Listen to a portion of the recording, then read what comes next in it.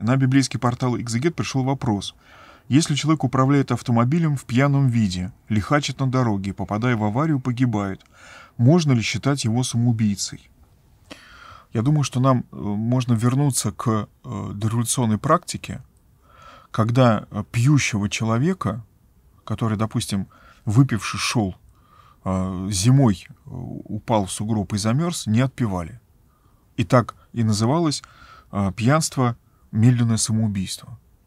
То есть человек, погружаясь в страсть винопития, он давал себе согласие на то, что он может погибнуть и он может убить. Его об этом предупреждали, он об этом слышал, не мог не слышать.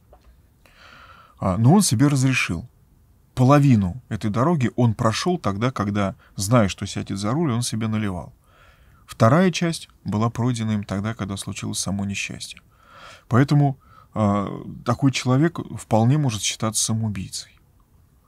Насчет э, отпевания такого человека, наверное, надо обратиться в каноническую комиссию вашей епархии к правящему архиерею. Может быть, он рассмотрит этот вопрос как-то по-другому.